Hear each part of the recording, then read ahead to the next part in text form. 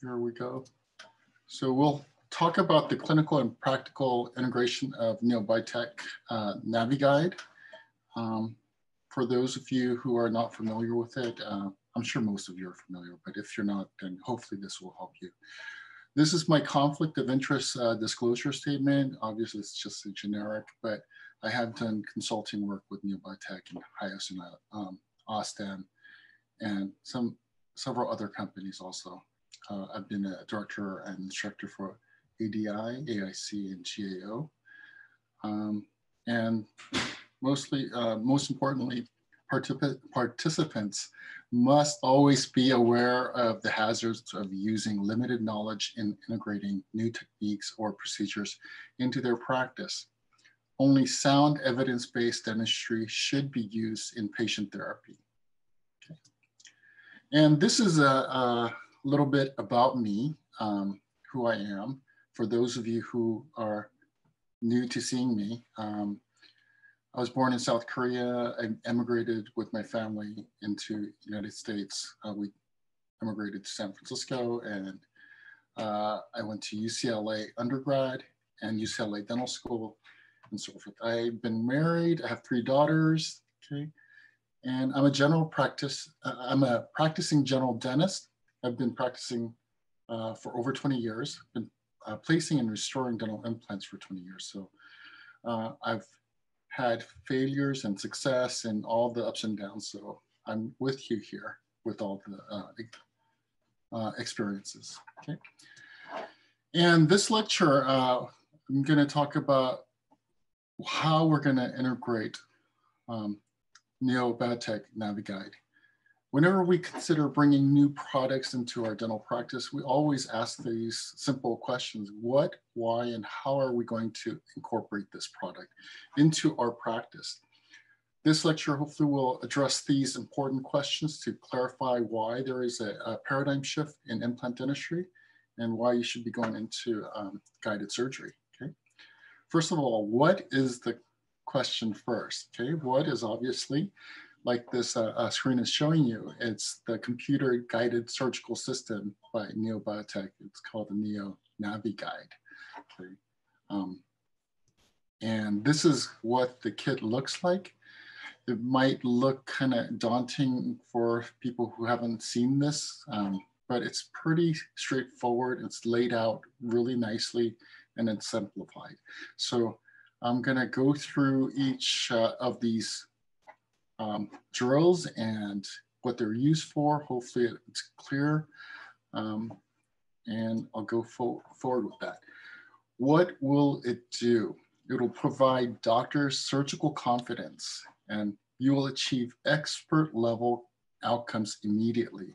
Even for beginners, um, with this surgical guide, you're gonna have expert level outcomes, okay? And Next thing, it's little to no pain to patient. And this is actually absolutely critical to helping you grow your practice, okay? And I think this is probably the top thing that really there is no pain to, hardly no pain to the patient. It's gonna really grow your practice. And uh, I hope you get that, okay? And it's super fast surgery compared to freehand you're going to be able to place a single implant in about five to 10 minutes once you get used to this, okay? It really goes fast. So if you're doing multiple implants, that's where you're gonna really see the benefit because uh, you'll be confident of the angle, position, and depth. So your surgeries are gonna go super fast, okay? We will increase production and profit, profitability obviously we are looking at the bottom line to make profit for what we do. And this is where you're going to see a huge difference in your practice. Why do we do it? Okay. In the US, um, USA, only 10 to 15% of general dentists place dental implants. That's kind of a shocking uh, statement here, but it's true. And we under when we often ask why that is, when the rest of the world is uh, about 80% of general dentists placing implants generally, okay? And it's because dentists in US are really scared of surgical failures. as you see here, these are just few. Um, uh, on the upper left, you see the anterior. That's a huge failure, obviously, right? Nobody's gonna want that. Uh, if you have that kind of situation, you're not helping your practice at all. And then you look at the other radiographs and you see the implants. And if you look at all of these, the major thing is that it's positional error, okay? All of these are positional failures in implant when you're placing the implant. All the doctors who placed these had good intention, but um, you know, the drills go a certain way when you're holding onto it with your hand. And so with surgical guide, these will hardly ever happen, almost zero, okay? You're gonna predetermine. And I put this draw, uh, uh, a comparison between a, a, Tesla and a surgical guide. And that's actually my car. That's the same car that I have. And I didn't realize how good this technology is until you try, drive it or use it. And um, that's the thing I wanted to uh, kind of bring across here. Unless you try it, you don't know, okay? And the thing that I found with uh, Tesla, if you're not familiar with it, it has the most advanced technology, okay, in terms of automobile. And with the Neobiotech, this surgical guide is the most advanced technology in its category. The Tesla will navigate on autopilot. So, you know, when I'm driving on the freeway, I just put it on autopilot and the car drives itself. I don't have to worry about anything. In the guided system, that's practically what happens when you're doing surgery. It's guiding your, uh, your surgery. So you really don't have to stress. You just sit back and do it, okay? There's also automatic stopping. The car will stop before in general. I've heard some cases where it didn't work, but I think that's a minor case. There's always an explanation. But I've also experienced this where a car slammed on their brake in front of me and the my car automatically stopped. Okay, it was kind of nerve wracking, but it did its job. And in the surgical guide, it has a built-in stop. You can't go deeper than what we design if you use it correctly. That means if you're getting close to the nerve or vital structures, it will stop, okay? And then on the left, uh, the car, the way that the tire and everything is designed, it reduces noise and vibration. It's a very comfortable uh, ride. And on the right, the surgical guide, it re reduces handshaking. When you're doing the drilling, you're gonna go very smooth. It's not gonna shake so much. It's very smooth, okay? And then on the left, the car, phenomenal comfort, okay? It's just smooth and comfortable. On the right, the surgical guide, phenomenal accuracy. Once you start doing this and you see the final outcome, you'll be blown away by the accuracy and you could confidently show the patient how perfect it is. And yeah, it's very accurate, okay? And then the uh, Tesla, it's mind-blowing speed. It goes from zero to 60 in 2.9 seconds. I think I've tried that. It, it makes you dizzy to how fast it goes. And on the right, the surgical guide, it goes really fast, fast also, mind-blowing speed in that category also. So if you're used to doing implants, especially for beginners, I know that a lot of beginners, I help out a lot of beginners on implants, and they're taking an hour uh, for uh, one implant or something. And you're gonna find out with the beginners, I have helped beginners with surgical guide and they'll be done in 15 minutes, okay? And they get, they are very, very uh, um, excited and blown away about how fast it goes, okay? And on the left, the car, it's the now and the future. If you know the trend in automobile, everything's going electric, okay? And autom automated driving and so forth. So on the right, in dentistry, that's what's happening. You're seeing that the surgeries are going to surgical guide because the ease, comfort, and assurance, okay? And you really need to get on this and do surgical guides. Well, how do you do it? So I want to just start off with a, a, simple case that we did, I did. And this was just recently, as you can see on the screen, I did this, uh, the patient came in on September 8th, and this is a fully guided single immediate implant and early load, okay? So I'll go through the case really quick and describe what's happening.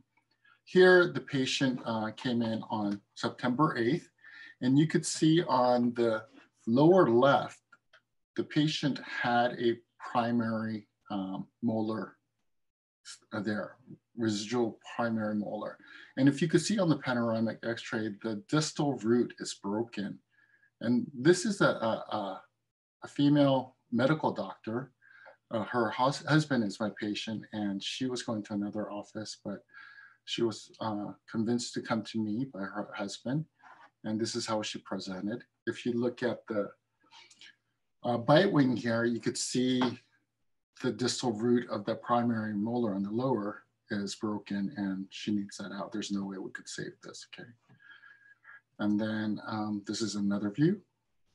And this is an intraoral um, photograph. You could see there the tooth and you could see the tooth there.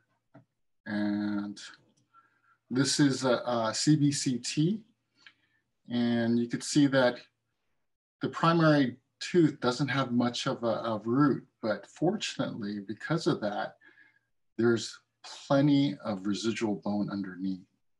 Okay, you have plenty of bone. Um, it's almost like a patient presented with uh, uh, remodeled bone uh, uh, extraction socket. I mean, you have plenty of bone there. So we decided to do surgical guide, obviously. So we took impressions of the CT to the lab. This is a, uh, another cross section of the area, the CT cross section here. And we have plenty of bone, like I said.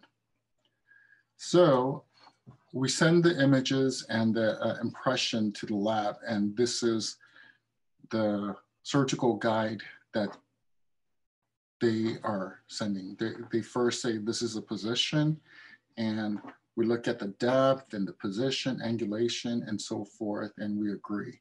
I, I confirm that this is what I want. Um, it's far away from the nerve, and yeah, there's it's really straightforward. So I decided to do uh, immediate extraction and implant. So this is the on the 15th is a week later is when the patient came to the office for the actual surgery. So this is right before the surgery. We uh, took a photo. And patient actually didn't like the amalgam on the tooth in front of it, the premolar. And we could see that she had a, a decay going on there. So we're gonna change that also, take care of that also. So we took the um, tooth out. We don't make any flap. Um, and in fact, uh, you could see that the distal root here broke. That's a dark area on the bottom there. That that is one of the root that broke off. Um, and I don't know if it's clear there, but that's now this image shows that root taken out. I just took it out with a root tip pick. Now it's a clean uh, extraction site. So we try on the surgical guide and here what we're looking at is the verification window, you could see right there, uh, right around the uh, incisor there. And what you do is take an Explorer and try to put it in there at the incisal edge. And the end of the Explorer is about 100 microns, okay? So if you could get an Explorer completely in there, then you're, you're not that accurate. We want to be able to just see that that's uh, a tight fit. So you, you have to have three verification uh, windows. And that is because two, two spots will uh, determine a line. So within the two spot, you're gonna have rotation. But if you have three in an arch, it uh, uh, creates a plane. And if you can verify in three different spots um, and it's an arch, then you know it's a plane and it's stable. So after we verify, we go in and we do, first thing we do is use a bone flattening drill. Um, I will go over all of these more in detail sequential, but I'm just giving you a clinical uh, example first. So I go in with a, a bone flattening drill and I flatten the ridge. Okay. After that, I go in with the point drill. This is the one that you're going to initiate. And we go in. And this is a photograph showing after the point drill. You see right there in the septum, um, an osteotomy, osteotomy started. Okay. And it might look like it's off center a little bit, but it's because of the angle of the photograph. Uh, it's pretty center. It's exactly where we had planned on um, doing the implant osteotomy. And so after I use the point drill, I take off the guide and just check to make sure everything looks good. And you're gonna irrigate, rinse out in there, okay? And then after that, you go in with the 2.2 guide drill.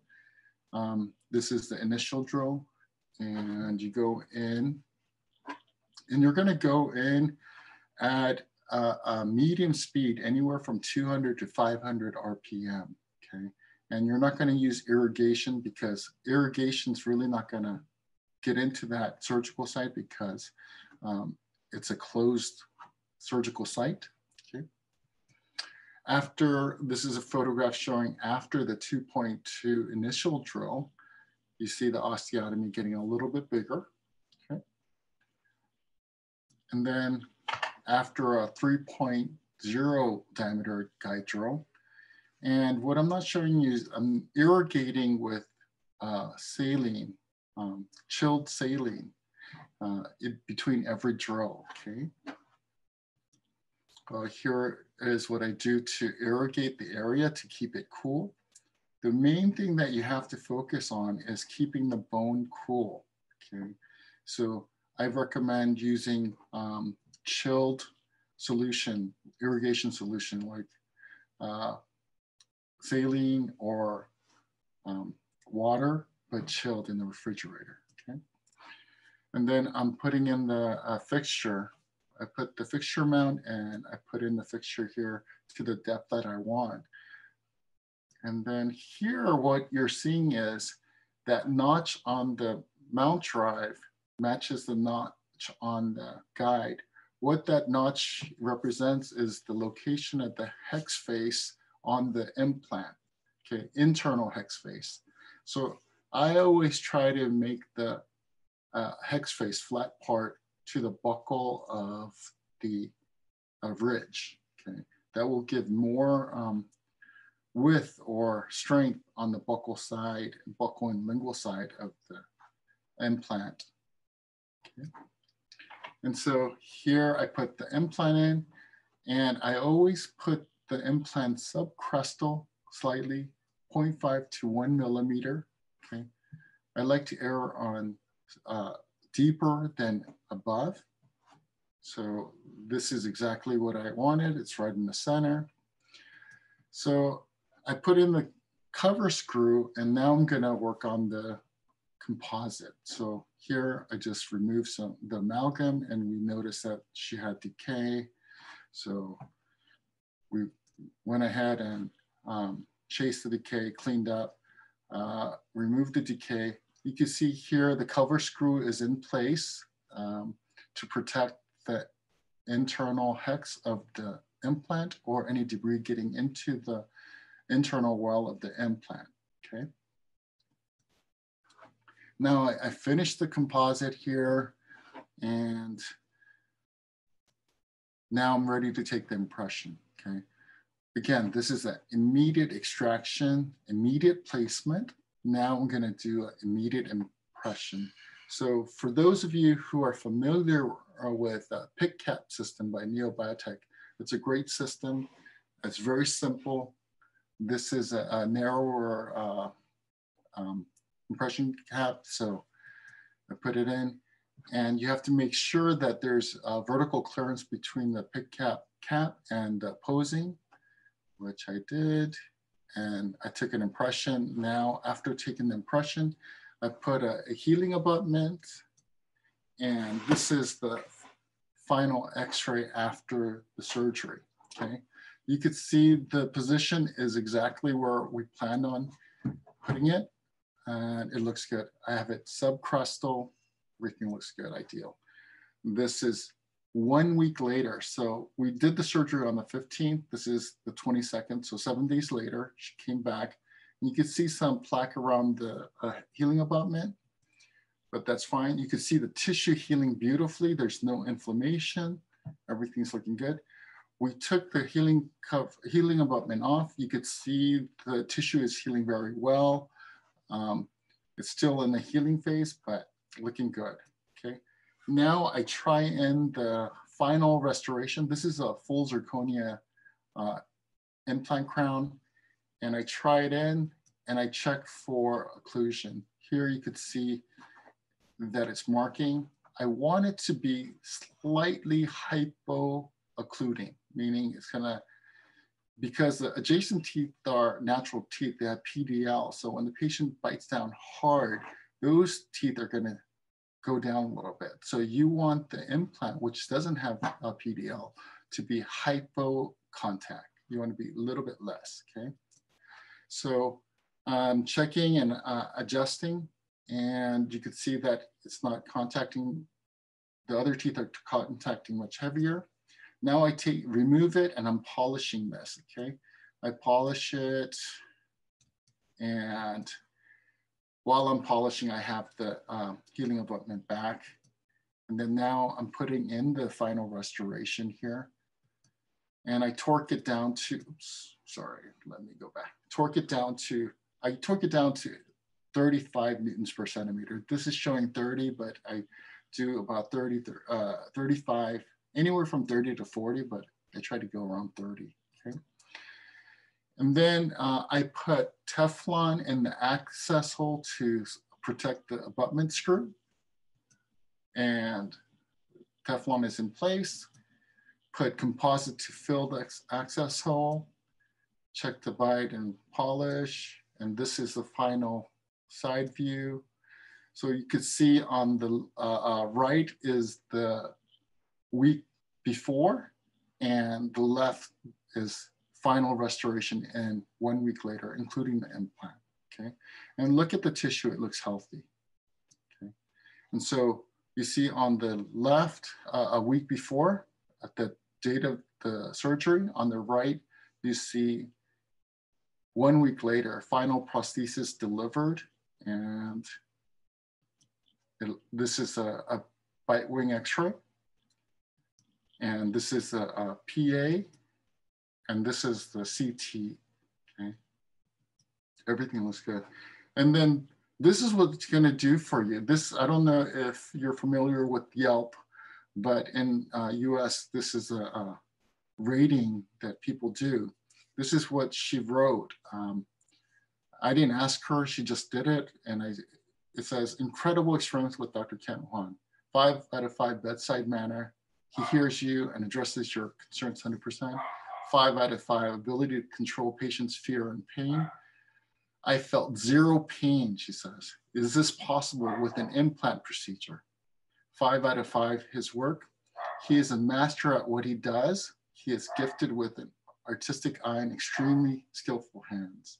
Result, perfect implant. I'm not trying to show you to boast, but I'm telling you what's gonna happen if you start implementing surgical guides into your practice people are going to say you're an expert. Okay, everything's going to go perfect. So you're a master at what you do and so forth. Even with little or no experience in implants, you could get this kind of result. So this is how your practice is going to grow. Okay. So I'm going to introduce, describe the guide system a little bit more in detail. And know we, we don't have that much time. So I'm sorry if it's kind of brief. I usually take much more time to describe each one in detail, but I'm gonna have to rush through. So let's break it down. The first step is to use a tissue punch after you put in the surgical guide. And that's, we don't make a flap uh, unless you're doing a bone graft and so forth, but uh, most cases you're not gonna need to do a, a, flap. You just use a tissue punch and then you're gonna use that at 200 to 500 RPMs, okay? And this is used to remove soft tissue on the crust. This is a photo showing you that soft tissue goes into there. And on the left here, the orange arrow is pointing to the vent where the tissue, excess tissue can come out, okay? And the tip is a serrated tip that's gonna uh, cut the uh, soft tissue. And then the next uh, drill you're gonna use is a bone flattening drill, okay? Bone trimmer, and it's right there. There's three different ones, and the three different ones are for offsets, and therefore, uh, if you have teeth that are adjacent to the surgical site, you might have to use a longer offset. There's three different offsets, zero offset, which is typically nine millimeter, okay? And then offset of 1.5 millimeter, you're gonna go uh, uh, increase the depth of 1.5 millimeter, so it's now 10.5 millimeter cutting depth, okay? And then uh, offset three millimeter, you're gonna go to uh, 12 millimeter, okay? And on this, what it does is it creates a three millimeter kind of uh, uh, concave ridge where you're going to implant. Okay. So after you the use the bone trimmer, you're going to use a point drill. That's there. And I feel this is the most important drill. It's the initial, it creates initial path of drilling. Okay. And the tip is sharp so it doesn't slip and safety design into it with a natural stop. So right there where the orange uh, or red, depending on your screen, arrow is pointing to, there's a natural stop. You can't go in any deeper than that. And if you look at the cutting length, it's 5.7 millimeter. So you're not gonna be going deeper than 5.7 millimeter. And the line markings on there, uh, the first line is nine millimeter offset. The way that Neobiotech uh, um, surgical guide is set up is that from the top of the bony ridge to the top of the guide cylinder is nine millimeter offset. That's the, uh, the standard. If you decide to go a little bit deeper, 1.5 millimeter, you can do that also. But the standard is nine millimeter offset from the surgical guide platform to the ridge of the bone, okay? So the most important thing is you need to have the guide cylinder, which is that round metal part, uh, that the thick metal part, engage the guide sleeve, the green part um, that you're seeing there that's embedded in the surgical guide before the, the drill touches the bone. Since the offset is nine millimeter and the drill is 5.7 millimeter, when you put it in, the 5.7 millimeter goes in and before that touches the bone, the guide cylinder is going to engage the guide sleeve. So it's going to be guiding the point where you start, okay? And then after each uh, drill, like I said, you're going to irrigate. You, we use a Monoject syringe. Um, we just put saline, irrigation solution, chilled, and you just shoot it in there. I use a full syringe between each one once again, you're gonna use chilled irrigation sol solution. The important thing is keeping the uh, surgical site cool. Okay? So how irrigation helps prevent heat necrosis. It cools the surgical site inside the osteotomy. Use saline or sterile water, it doesn't really matter. Uh, refrigerate the solution until use. We keep a bag of uh, saline or sterile water in our refrigerator, not in the freezer in the refrigerator until we're ready for the uh, surgery. Then we'll get a, bottle and put pour it into a cup and use that. Flushes out debris to prevent clogging in the uh, surgical site. Lubricates the bone against drill. Okay. Once again, chilled irrigation solution. Then the next drills are the guide drills. Okay. And that's the whole section right there that's circled. The first drill you're going to use is a 2.2 millimeter guide drill, also known as the initial guide drill. And once again, the guide cylinder is nine millimeters, and then the cutting length is whatever the length is here. Uh, if you look at the shank of this uh, drill, you see marking 2.2 diameter by 7.3. So the 7.3 is the cutting length, okay? After the initial drill, you have these different uh, guide drills and they're color coded. So for the 3.5 millimeter implant, diameter implant, you're gonna use a 3.0 diameter um, final guide drill, okay?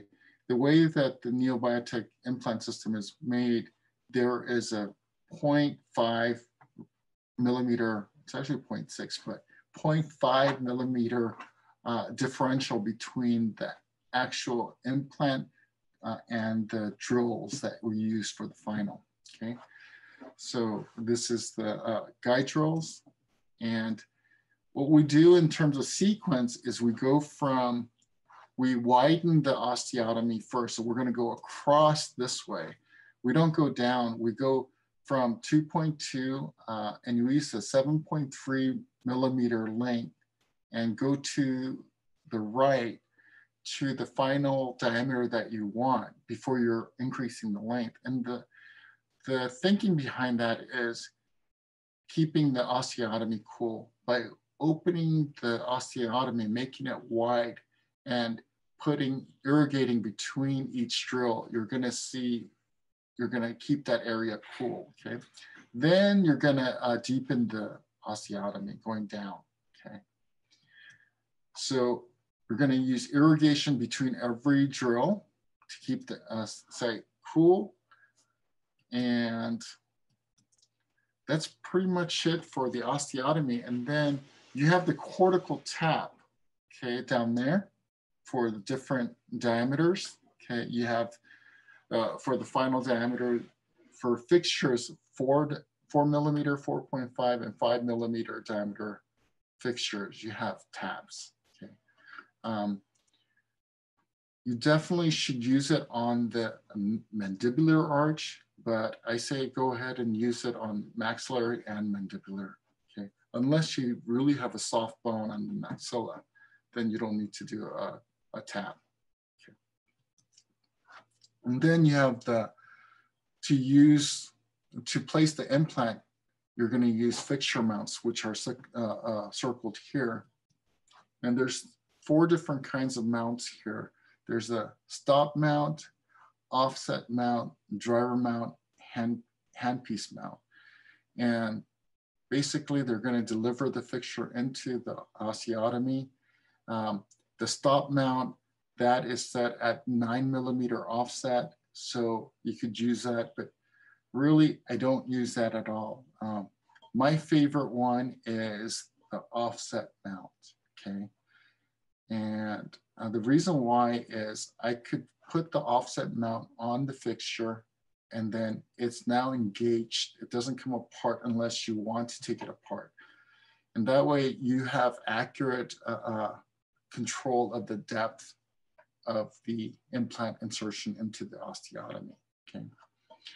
So my favorite is the offset mount.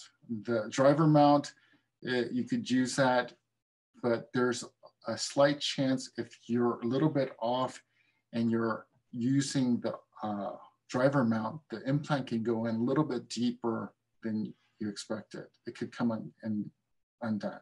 Hardly ever happens, but that is a potential, okay? And then you have the anchors, okay?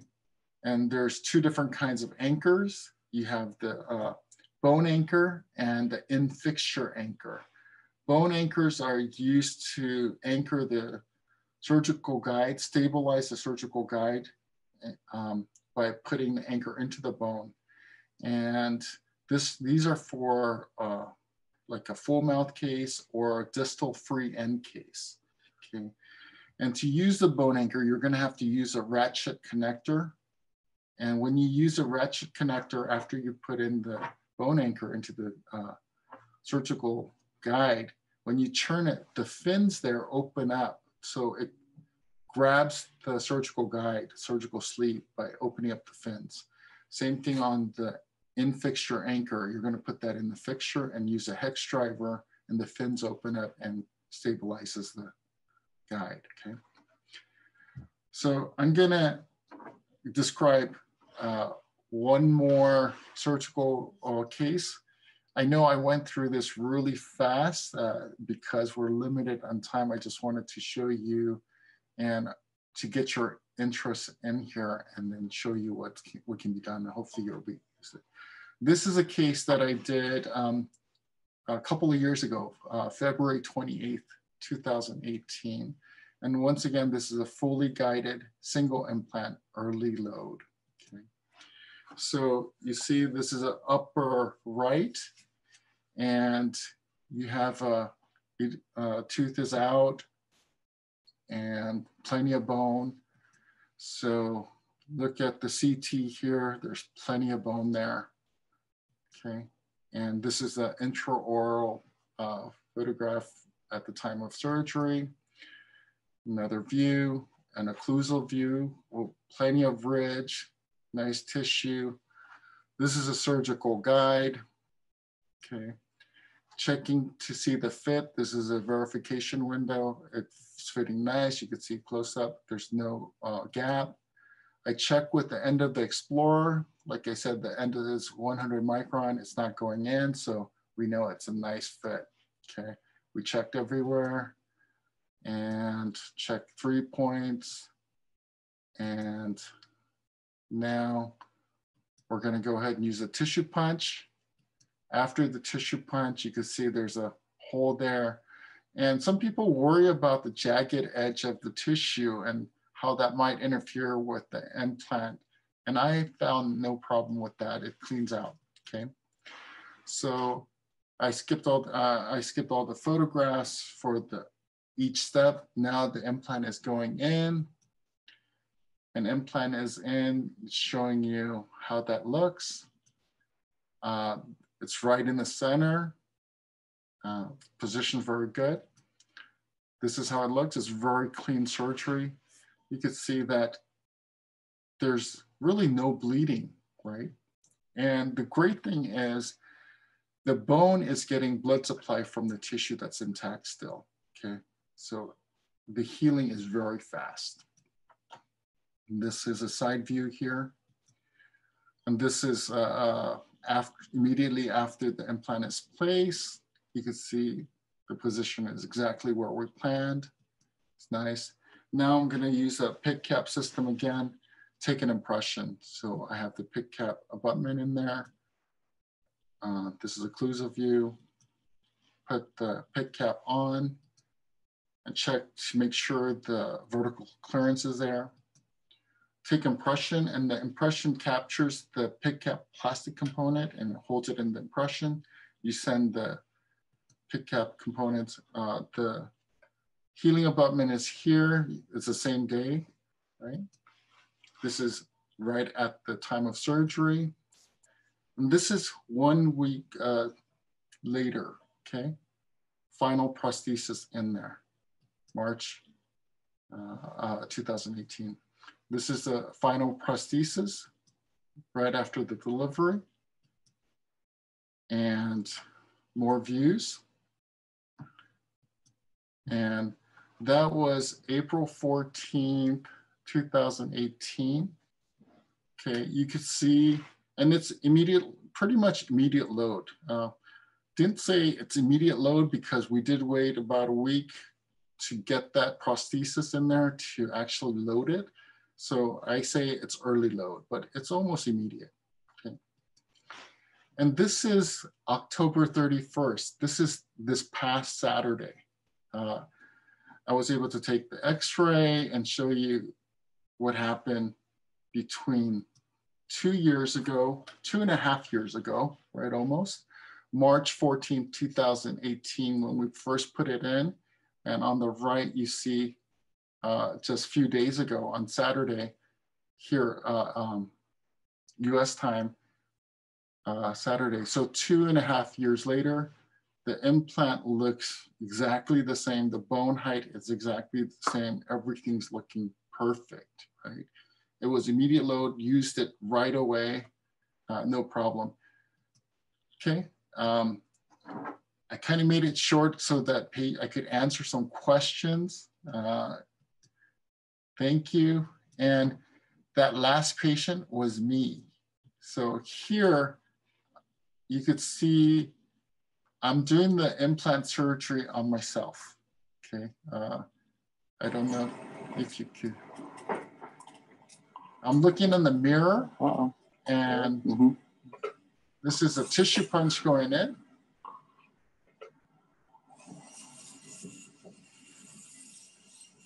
Okay.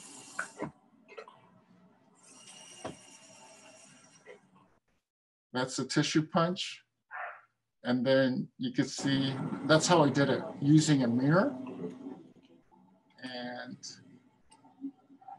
I'm going in. It's a very slow procedure. And then here I'm putting in the fixture.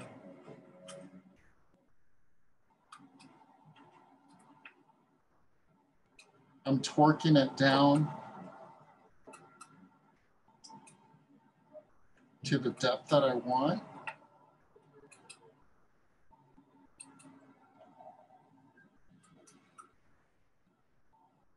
And you can see that I'm getting great torque.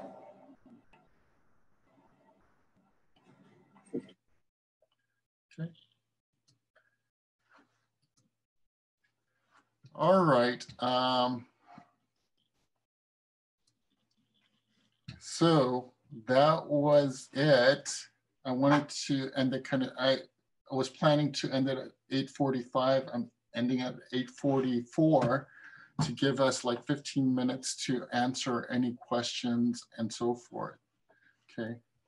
Okay, Um, uh, thank you for the lecture, Dr. Kent Hwang. Uh, we got uh, two questions uh, on the chat box. Uh, Okay. I think you can see that. uh, Yeah. from Dr. Jaweed.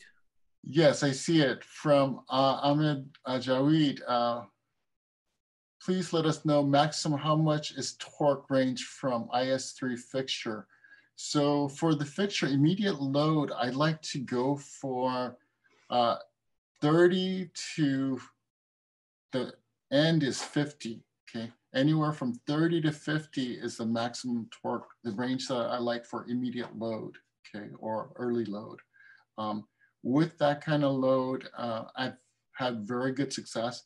And the caveat to that is that 35 or 50 newtons, it also depends on how much bone you have.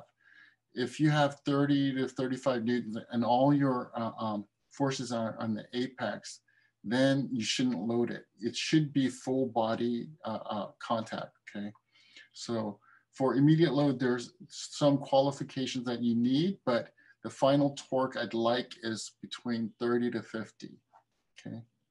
And then uh, the other question that I see is, uh, if we were saying surfaces SLA, so could we load after four to five weeks if all other parameter are okay, like bone volume, tissue, and implant size, amount, and area in arch according to occlusion? Yes. Uh, yes, uh, that's I, that's what I agree. And you could do it even faster. So I showed you two cases where I did immediate load and they're both successful. And believe it or not, my office, the trend is going toward early loading. We're loading implants within the first month in a lot of cases now, but that's not everything. We in our uh, our office, uh, we're known for doing a lot of implants in our office, complicated ones. So we do a lot of immediate extraction, immediate uh, implantation. Um, and then if we have the right case, then we do immediate load. So if it's patients that for a couple of the things that I look for for immediate load is where is that implant going in? If it's a, a, a second molar, okay, I don't immediate load usually a second molar, especially if that's the last tooth in the arch. Because our arch, our uh, um, teeth, the most posterior teeth is gonna get the most force, okay? So if you looked at my case, I placed immediate load on those teeth implants because distal to the implant, there's natural teeth, okay? If there's healthy natural teeth behind and in front, which I had, that helps a lot. And I, I mentioned that we do hypo-occlusion, slightly hypo-occlusion, and that helps to alleviate uh, undue stress. So I immediately load even on the same day if I pre-made the uh, crown, and we've had uh, very high success rate on all those immediate loads or early loading, over 95% success rate on the cases that we've done, okay? Um, what is the longest and biggest diameter fixture we can place using this guide surgical kit? The longest you could place is a 13 millimeter implant because that's the uh, length that Neobiotech has is a 13 millimeter. And the widest uh, uh, diameter is 5.0 uh, 5.0 millimeter diameter implant for the surgical kit that we have, okay? So do I always use, you know, the 13 millimeter, I hardly ever use. Um, I find that my go-to uh, length is 10 millimeter. I don't even mind going to 8.5 or 7.3 millimeter implants. Uh, the more important thing is a diameter and the bone around the implant. We would like at least one millimeter around the circumference of the implant. So most importantly, buccolingually, okay, facial palatal. Um, you want one millimeter buccal and lingual to the implant. Uh, that's very important, okay? And the length, the longer the length, you have more stability, uh, but I find that 8.5 is fine, but all my, most of my implants are 10 millimeter implants, okay? Um, so yeah, but the, with the surgical kit, the longest that you could put in is 13 millimeters. But in the posterior, that's gonna be difficult because the range of opening for the patient, the further back you go into the posterior of the mouth, with the surgical guide and handpiece and the drills, it's hard to have the patient open wide enough to get a, a drill that long, okay? You'd have to do a few tricks to do that if you need to do that, but I don't find that that's necessary. The 13 millimeter, you would only probably use it in the anterior, okay? Um, maybe canine region is probably where I would use a 13 millimeter if I needed to, but I find that even in the canine area, uh, 10 millimeter is sufficient. Okay, um, is there any other question? Uh, if any question more, please uh, use chat box or Q&A box. Uh, if not, yeah, we're gonna close this webinar. All right. Okay, uh, let me do some screen share shortly.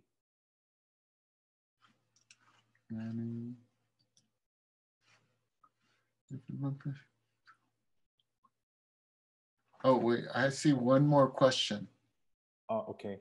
Yeah. It says uh, from Eugene Tan, if implant is placed subcrestal, would tissue punch remove excess bone? Oh, no. So uh, that's a great question. So I place implants subcrestal and, and regularly get bone overgrowth, okay? And tissue punch will not get rid of all the uh, excess bone in most cases. So when you do that, you have to use a profile drill. In the surgical kit, uh, the guide kit, there's a bone profiler, okay?